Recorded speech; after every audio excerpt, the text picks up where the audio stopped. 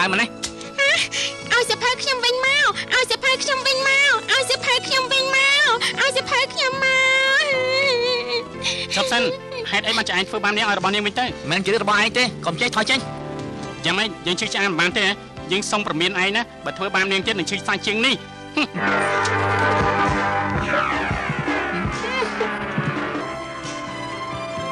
ចាំមើលនេះជាសភៅរបស់នាងតែយើង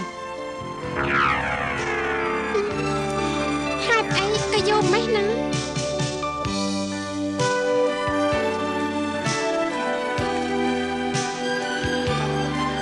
បើចាំយកខ្ញុំជូនទៅក៏បានដែរផ្ទះនាងនៅណា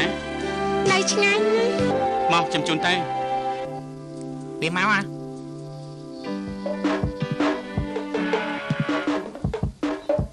ឹមឆាប់រត់មុនទៅទៅខ្ញុំចាត់ការពួកវាទៅចូលហ thank you